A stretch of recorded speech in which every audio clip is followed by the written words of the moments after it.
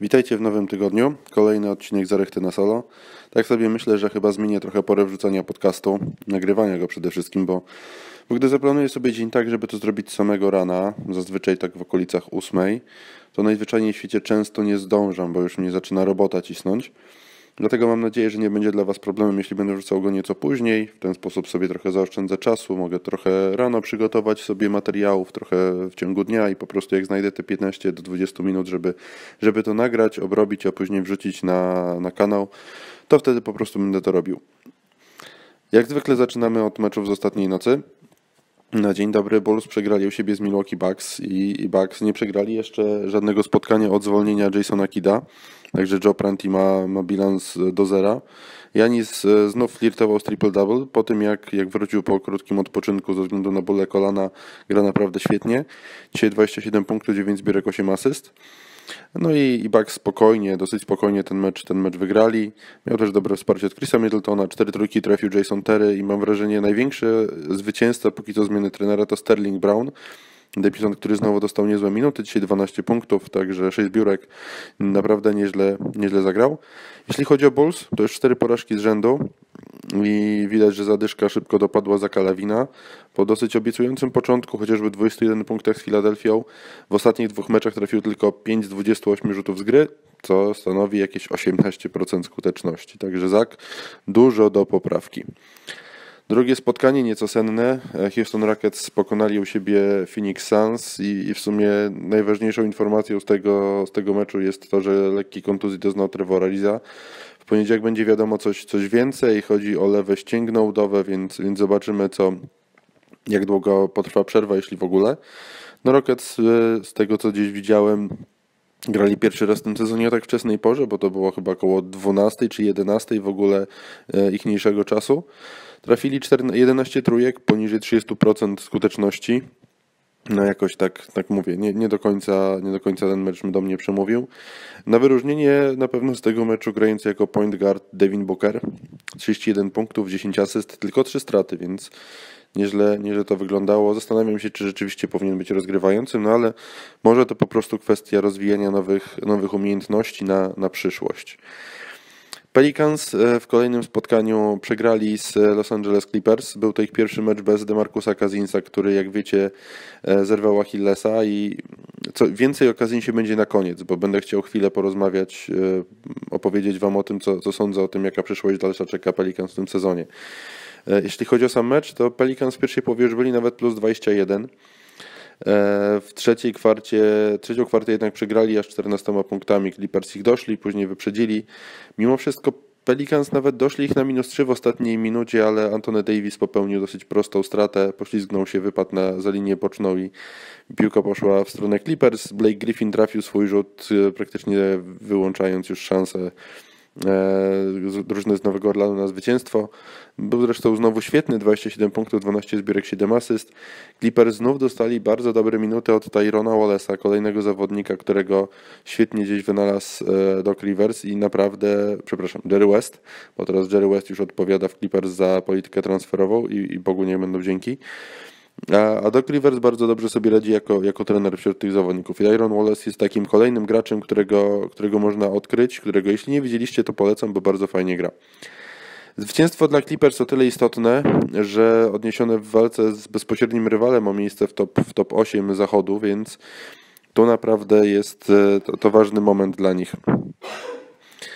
E, dalej, e, Oklahoma City Thunder wreszcie się rozpędzili, to już ich ósme zwycięstwo z rzędu, tym razem kosztem Philadelphia 76ers. Bardzo dobry mecz, naprawdę, bardzo fajnie się go oglądało, także jeśli macie okazję, to, to obejrzyjcie.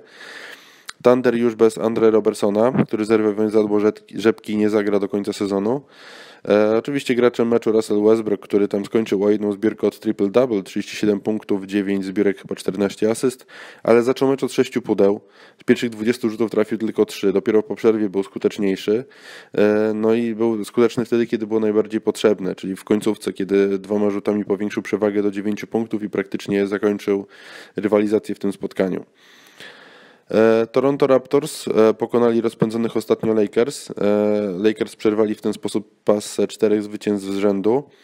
A dzięki tej wygranej Dwayne Casey będzie trenerem Team LeBron podczas All-Star Weekend.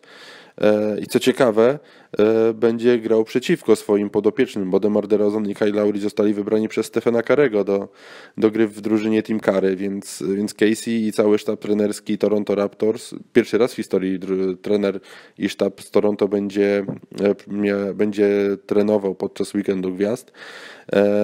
Także to, ale co ciekawsze, to jest zaleta nowego sposobu wybierania do, do meczu gwiazd, będzie przeciwko swoim zawodnikom. Do wygranej nad Lakers Raptors poprowadził ich rezerwowy Fred Van Fleet. Nie pierwszy raz w tym sezonie rzucił 25 punktów, pobił rekord kariery.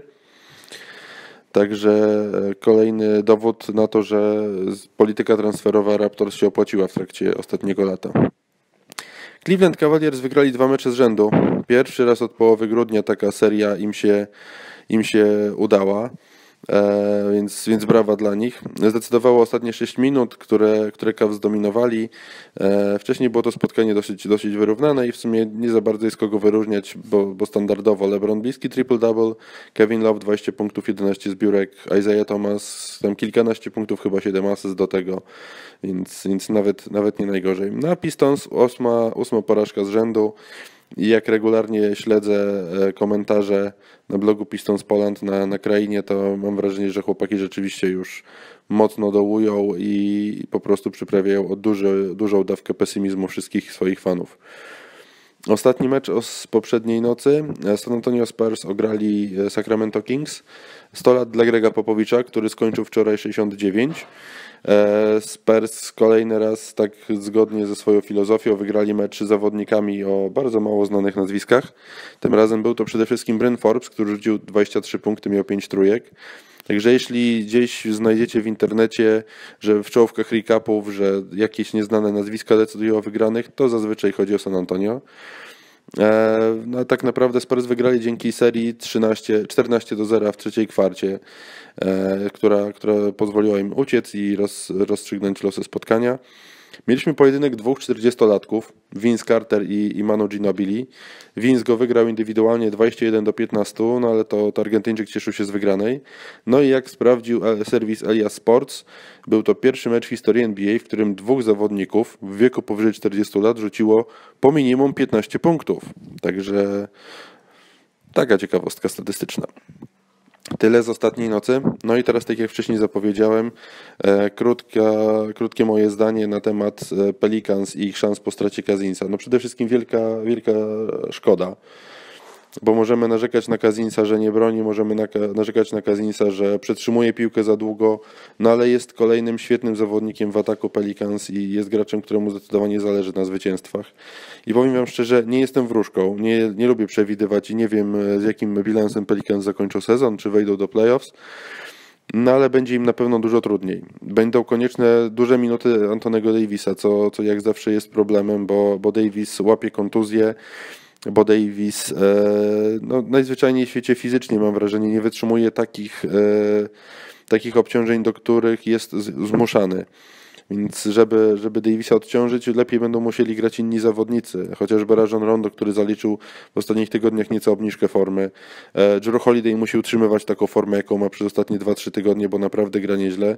No ale potrzebne będą minuty też od innych. Tak? No, dzisiaj szansę z ławki dostał Omer Asik i powinniśmy go dużo więcej dost, e, zobaczyć w najbliższych meczach.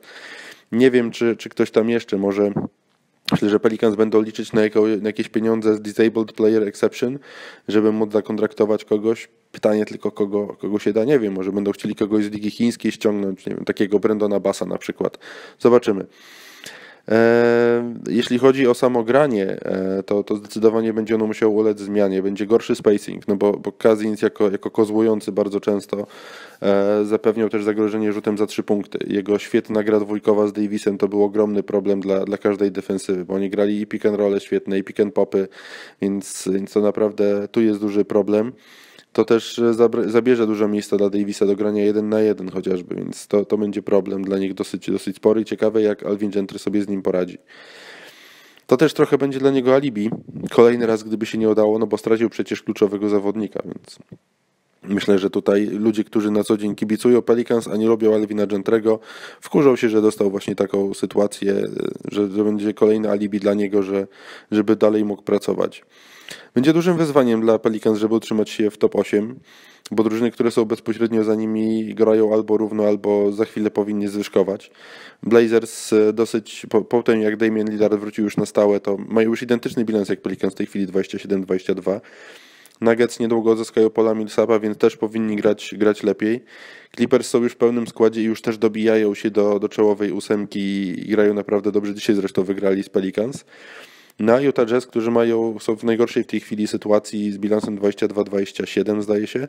Niedawno odzyskali Rudy'ego Goberta i też zaczynają z nim wygrywać, więc teoretycznie nawet grozi Pelicans dziesiąte miejsce w konferencji zachodniej. Nie życzę im tego, bo chciałbym, żeby weszli w końcu do playoff, wrócili tam, gdzie byli kilka lat temu, ale może być bardzo, bardzo trudno. No i teraz po pierwsze Alvin Gentry, a po drugie działania mające na celu załatanie dziury po Kazinsie jakimś może nowym zawodnikiem. Tyle na dzisiaj. Mam nadzieję, że było, było w miarę ok. Mam nadzieję, że usłyszymy się najpóźniej w środę kolejny raz. Także dzięki za wysłuchanie e, i piszcie jeszcze raz w komentarzach proszę o wasze zdanie na temat trade deadline, czy robimy live, czy nie. Na razie.